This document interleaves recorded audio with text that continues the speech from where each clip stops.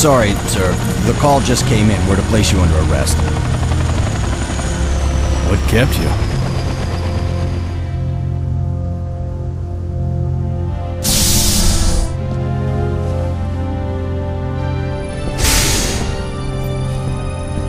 Hope you've had some time to contemplate your actions, Havoc. Won't happen again, I swear.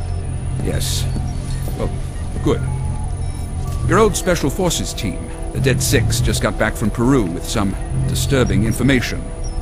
This is surveillance video from GDI's R&D base in Guatemala. The Black Hand launched an attack on the facility and captured our top three Tiberium research specialists. Dr. Ignacio Mobius, his daughter, Sydney, and Dr. Elena Petrova. The rest of the staff was executed on the spot.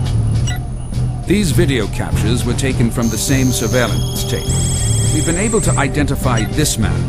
His name is Mendoza. He's a former operative for the Sword of Chagall, an extremist wing of the Colombian separatist movement.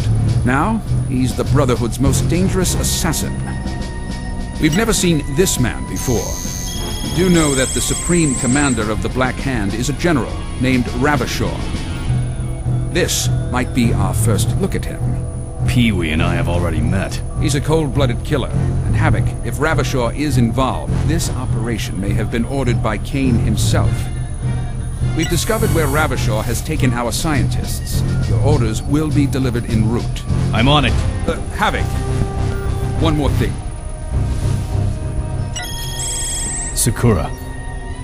Did you know that your ex-squad member had joined the Black Hand? She's a mercenary. She follows the money. As long as there isn't any conflict of interest. Conflict of interest? No. I got interest in conflict.